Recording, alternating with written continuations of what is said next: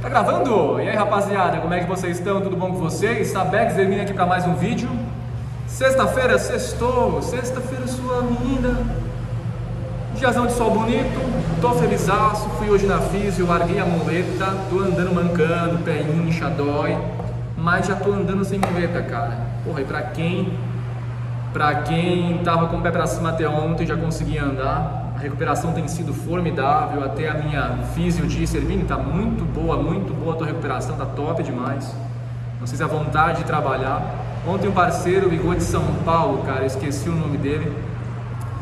Uh, eu vi o número de São Paulo no meu celular, puta, é marketing, né? Esse 011 o dia inteiro ligando. Aí eu liguei, ah, o Hermínio aqui, sou um fulano de tal, eu acompanho no canal, eu já ia dizer, cara, canal tudo que for relacionado a canal, cara, me manda lá um direct no Instagram, porque aqui é trabalho e tal, mas quando eu ia dizer, ele foi falando, cara, que orou por mim, pela minha cirurgia, pela minha recuperação, ele, a família, tal, tal. O cara me deu uma palavra, cara, que eu assim, cara, muito obrigado pela tua, pela tua ligação, muito obrigado aí ah, por essa, por essa energia, né, que tu tá me transmitindo. E o cara me derrubou, cara. Eu fiquei conversando com ele alguns minutos. Disse que quando vier pra cá, passa aqui na salinha para me visitar. Se eu for a São Paulo, eu pessoalmente, né, vou mandar um WhatsApp para ele. Eu, eu assim, marca esse número no WhatsApp, me procura. Eu indo a São Paulo, eu quero te conhecer porque as palavras do cara foram tão fortes, tão sinceras, cara. Que aí, desse tipo de energia positiva que mais ou menos está explicado por que eu estou me recuperando tão bem.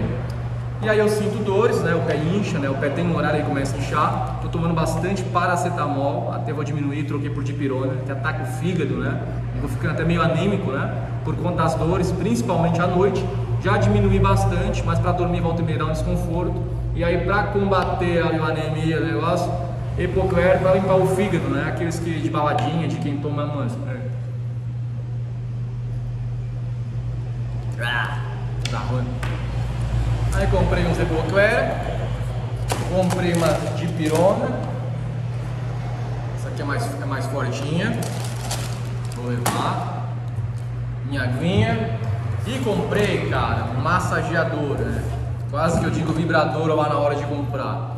Isso aqui, velho, a, a fisioterapeuta tem um grande lá, né? um grandão.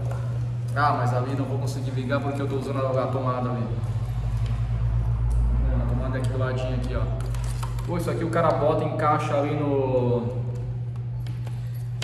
Encaixa aqui no bagulho aqui, cara, isso aqui faz uma benção aqui, ó. Vai, na, vai aqui no tornozelo, cara. Vai ali no tornozelo, cara. Dá um alívio do caramba, assim, sair, sair de lá da, da físio lá renovado, assim, parece assim que dá vontade de, de sei lá, jogar futebol. Ficava via, né? O tendão não é nem no local da cirurgia nada, é o tendão, porque como o pé está inchado, cara, o tendão ele fica espremido e dá aquela inflamada e dói, fica duro. Então a gente massageou bastante, passou não sei o que lá e o vibrador aqui, vibrador, massageador ali do. Vai sair zero. Então comprei um. E até bom isso aqui o cara pode ir em casa depois usar nas costas, né? Para relaxar à noite, né? Um dia estressante, a mulher também.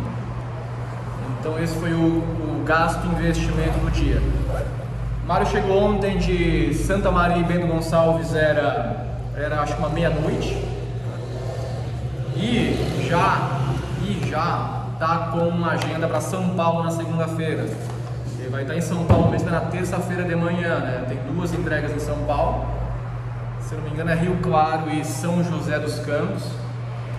E terça-feira o Mário vai estar lá para fazer esse contrato vai sair de lá na terça-feira, finalzinho de tarde. São Paulo vai chegar aqui na quarta-feira de manhã, quarta-feira até meio-dia.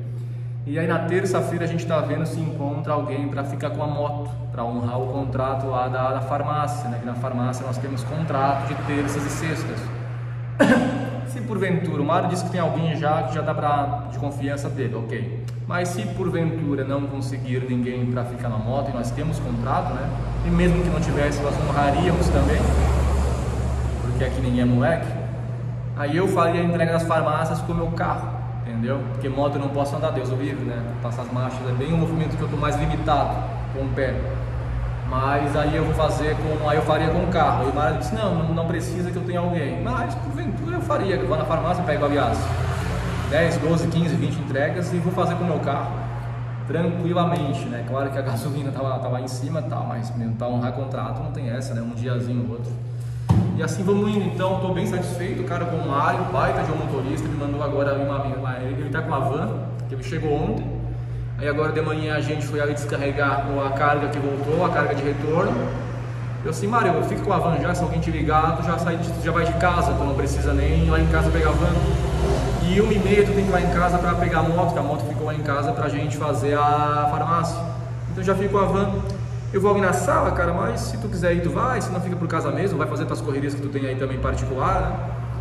E aí ele mandou um vídeo pra mim, ele tá em casa agora, ele tá limpando o baú por dentro, varrendo. Então, pô, é o tipo de coisa assim que a gente, ah, quem é o dono do carro fica tranquilo, né, cara?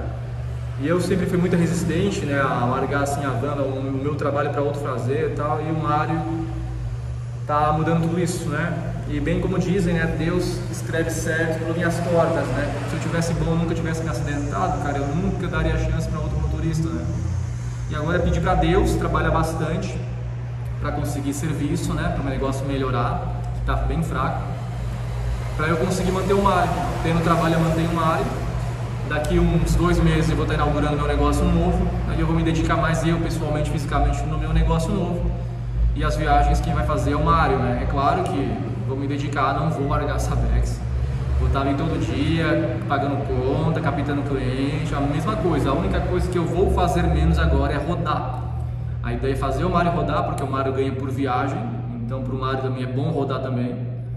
Mas eu vou estar o dia todo também ali fazendo o que eu faço, cara. Vou estar trabalhando normal.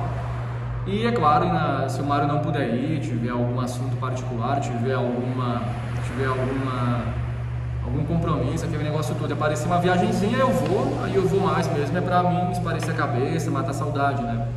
Mas a ideia é que tenha bastante serviço que eu consiga manter o Mário, que eu estou muito, mas muito satisfeito com o trabalho dele, assim, todos os aspectos, cara. E é alguém que eu preciso, alguém calmo, porque já a, alvoraçado, né, já tem eu, né? E aí tem que ter alguém calmo para fazer esse, esse contrapeso, né? Mas estou bem satisfeito então, a, ontem ele fez Santa Maria e Bento Gonçalves na Serra Gaúcha, chegou à noite, agora de manhã deixei uma carga que voltou. Agora à tarde a gente tem contrato com a farmácia, não sei que hora que ele vai terminar, que vai ser o primeiro dia dessa rota. É claro que por ser primeiro dia demora um pouquinho mais, depois pegam os clientes na manhã, isso aí faz rapidinho. E aí eu orcei para final de semana uma entrega em Uruguaiana, tá? Mas essa não é de certeza que eu passei um orçamento, não é um cliente que costuma mandar, é uma coisa meio atípica, mas se tiver também essa de Uruguaiana, o Mário faz final de semana. Ele chega lá, ele iria hoje ou amanhã de manhã, chegaria de tardezinha e domingo ao longo do dia o Mário estaria aqui. E segunda-feira ele coleitaria São Paulo sem problema nenhum. Então tá bom, gente? Agora eu vou. Agora eu vou pagar mais umas continhas, vou mandar uns WhatsApp para cliente meu, né? Perguntando como é que tá a tarde aí, se estão precisando divulgar um pouquinho aqui essa Bex também. Sexta-feira, quem fez, fez, quem não fez também vai fazer à tarde, né? Não tem essa não. E aí a gente vai procurar serviço. Mas a semana, com a graça de Deus, já foi melhorzinha. Ah, essa semana já teve alguns serviços bons já, já conseguiu assinar uma melhoradinha, dar uma longe, mas muito longe do ideal, né? Mas ah, é um primeiro degrau assim, vamos dizer, tá gente? Mas estou bem satisfeito com o Mário, com o serviço dele. Espero que a gente consiga manter essa carga de serviço para poder manter o mar. Depois, quem sabe, colocar mais motos também, colocar mais motoboy também, né? A gente agora que conseguiu o primeiro cliente fixo com a moto, mas é assim, quando, conhece, quando começa, conhece, é, chega o primeiro, tende né, a vir outros, né? Eu sou um cara muito conhecido já, né, até pela, pela Sabex mesmo, né? Então o que eu tenho agora é que fazer é fazer o pessoal uh, vincular a Sabex também com moto frete, e eu tenho muita facilidade em conseguir novos clientes, em prospectar, em marcar reunião. Então é uma facilidade que eu tenho. Então eu tenho certeza que já já a gente vai estar na correria tanto com a van, tanto com a moto. Priorizar o Mário sempre com a van e, ah, e conseguir uma segunda moto aí pra gente, aumentando o leque, né, gente? Tá bom, gente? Então essa é o que eu tenho pra dizer pra vocês sobre a motorista, sobre moto, né, o que, é que eu tô achando. Nesse momento, hoje, eu estou super, mas super satisfeito, gente. Super satisfeito. Tá bom? E acho que é isso, rapaziada. Uma ótima, uma ótima sexta-feira para vocês aí, um ótimo, um ótimo final de semana. Segunda-feira, então, a van vai para São Paulo. Terça-feira, na verdade, a van vai estar em São Paulo, né? Vou mandar alguns adesivinhos bom pro Mário. Se alguém encontrar minha van, trombar e se quiser um adesivo, quiser ali coisinha, dá um toquezinho para ele, enfim, eu já vou deixar com ele, tá? E uh, quem estiver passando aqui pela região e quiser conhecer a salinha, eu estou aqui não o dia inteiro por conta do meu pé, mas geralmente de manhã eu estou aqui. À tarde eu tenho que ficar mais por casa, até pelo, meu filho que está em casa, que ele, estuda até meio-dia. E já que eu estou mais por casa, eu ajudo ele nas tarefas, né? Sabe como é que é, né? Criança, 8 anos, ah, se o cara não estiver em cima não vai. Mas de manhã eu geralmente estou por aqui. E quem estiver passando por Tubarão e quiser dar um pulinho aqui, gente, fica bem aqui na Silvio Búrigo, tá?